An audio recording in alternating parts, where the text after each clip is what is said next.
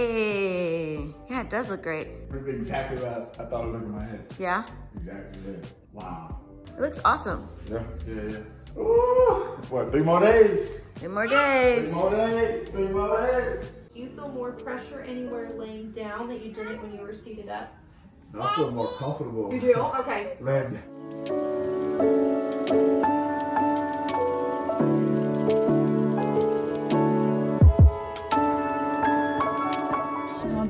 I got a line on my face from my mask. We just got done at the chiropractor. How did you feel? This was your first session. It wasn't as bad as I thought I would be. Honestly, felt like a mini massage.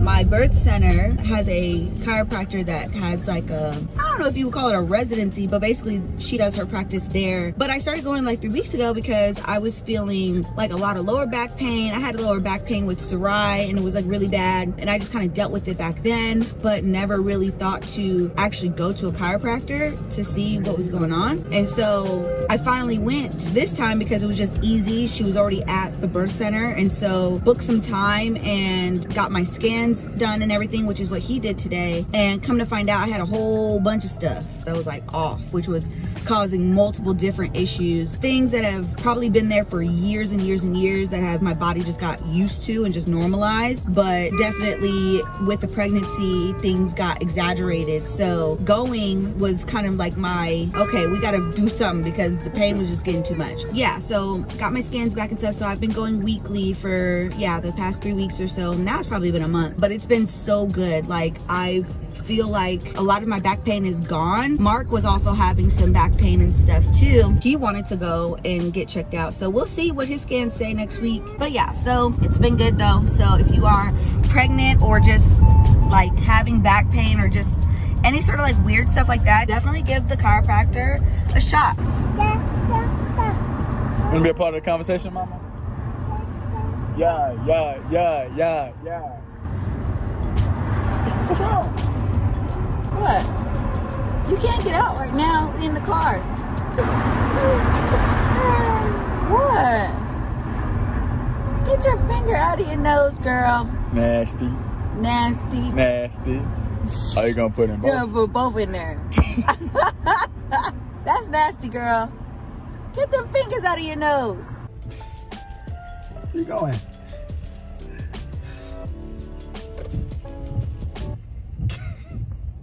Where are you going, mama? Where are we going? Say hi. Are you tired? Look at this bathroom, it's so cute.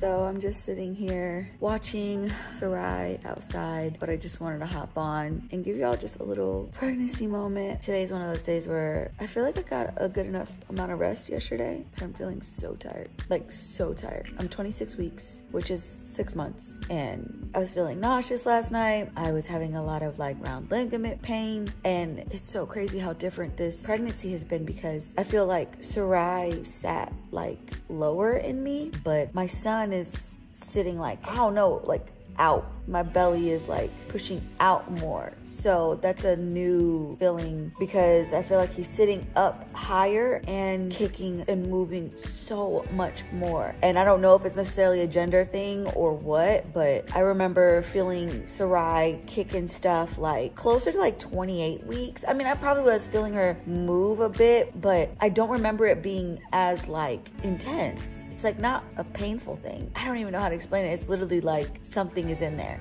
and it's moving by itself. But it's Friday. We had a pretty full week this week. I didn't vlog much because we were just like out and about getting things done. Also, this week was kind of a blur a little bit. Last weekend was Easter, which was really amazing. We did a ton of stuff with family. So maybe that's why I'm also feeling a bit tired because usually we relax on the weekends, but last weekend was like full of events yesterday we were like out and about. I worked a little bit in the morning and then we went out to have lunch with some of our friends, Wanda and her husband, Lorelco, which was really great. We got to hang out with them for the first time, like in person. If you're not familiar with Wanda, she's an incredible mom of two beautiful boys that she conceived via IVF, her and her husband. And she's just, you know, one of those people super down to earth, super genuine. We had a really great time hanging out with them yesterday. We were gonna bring Sarai, but Sarai's out of place where she doesn't like to sit still.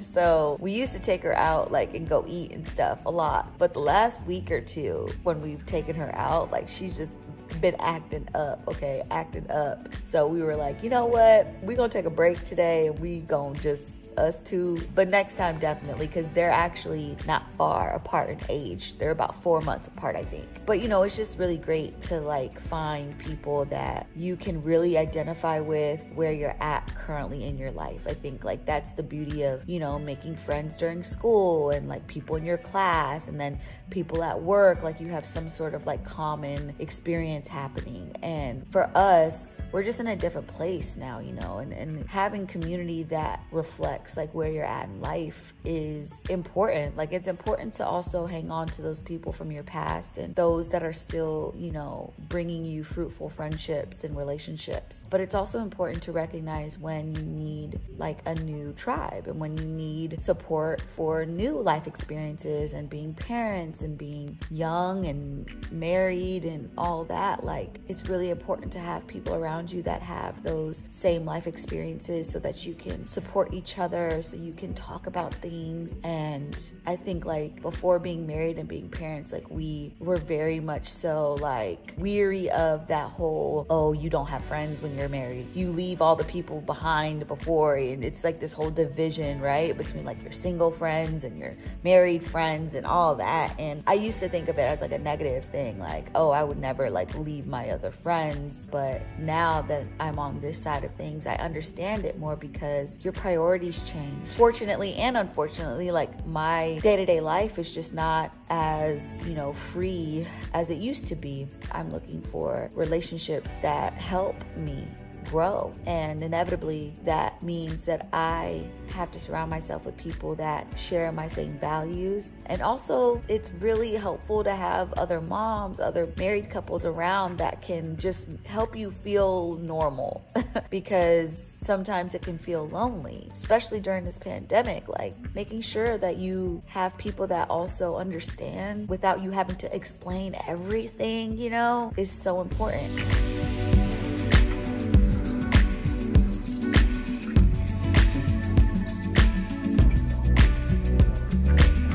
Just working outside a little bit today. The weather is so nice, but I just actually got done filming a video and stuff for a Sephora campaign that I'm doing on clean beauty. That's what's on my face right now, all clean beauty products. And I shared a bit of kind of how I navigate clean beauty and how easy it is to do at Sephora, honestly, because, you know, for a lot of us, like clean beauty is like a new category. Like we're not necessarily used to like looking at ingredients when it comes to makeup and skincare. Well, maybe skincare, but makeup especially, I'm not looking at ingredients with makeup. But now, you know, as I've gotten older and like become a mom, I'm caring about what I'm, you know, getting in contact with Sarai, uh, especially because we're always like kissing and touching cheeks and all that. I wanted to start being more mindful of like the products that I was putting on my skin, you know? And so uh, I started really getting into clean beauty, truly shopping at Sephora because they have the clean beauty seal, the green seal that says on all their products that are clean, hair care, makeup, skincare, all that, it has that green seal. So it just makes it super easy to know like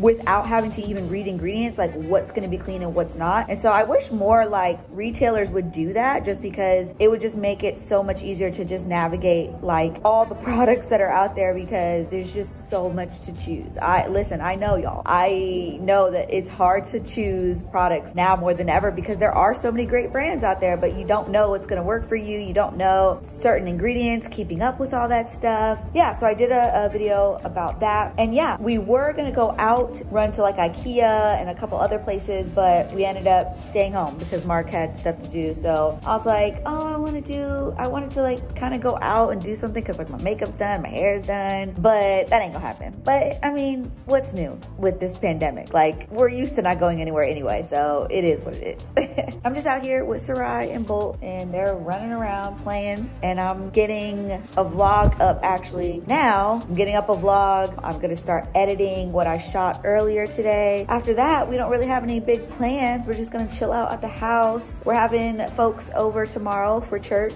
So Mark is gonna run to the store in a little while to like just get ingredients and stuff because whenever we invite people over for church to our house, like we always like to feed. So usually Mark, you know, cooks something and so we can all like munch and, you know, get the word. So yeah, it's a good time. It's definitely a good time. So yeah, we're just gonna, you know, knock some things out for the rest of the day and enjoy our Saturday.